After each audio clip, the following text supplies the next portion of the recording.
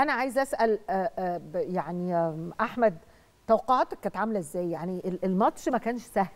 ونقول ال- الكلام والتصريحات والأجواء اللي عشناها في الكام يوم كله كان صعب. التوقعات كانت عاملة إزاي مع بداية الكاميرون كانت نازلة أول خمس دقائق يعني إيه نازلة بتقلها على الملعب.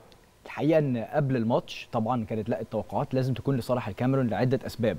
اولا البطولة على أرضها وإن هو من أول البطولة الكاميرون مشوارها في البطولة كان سهل جدا ما واجهوش أي آه، خصوم صع- صع- صعبين ما واجهوش إصابات زي اللي واجهناها ما واجهوش آه، آه، إن هم يلعبوا ماتشين في وقت إضافي في حمل بدني أكتر والنهاردة أهوت الماتش الثالث لمصر. فكل دي كانت عوامل تصب لمصلحة الكاميرون بجانب الشحن اللي هو صدروا مسؤولين الكاميرون للمنتخب الكاميروني إن هو صموا ايتو ووصف اللي هو المباراة بالحرب وإن هو طبعا هو التصريح كان مجرد تحفيز للاعبين مش شن حرب على مصر يعني عشان طبعاً. ما يحط ما يتحطش في أكبر من حجمه يعني. هو مجرد تحفيز للاعبين ولكن هي كلها أمور تحفيزية ليهم إن هم يلعبوا على أرضهم. كل ده كان يخلي طبعا كفة الكاميرون آه ترجح. وكمان أنا بالنسبة لي كان حتى لو خسرنا النهارده لا قدر الله أنا برضو كنت هحترم جدا أداء المنتخب المصري لأنهم لم يبذلوا أو لم يبخلوا آه، بالجهد من ساعه من أول البطولة من بعد مباراة نيجيريا وفي تحول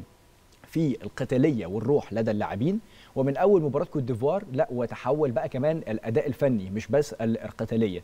أعتقد كل ده كانت عوامل تخليني إن أنا أحترم جدا المنتخب المصري مهما كانت النتيجة.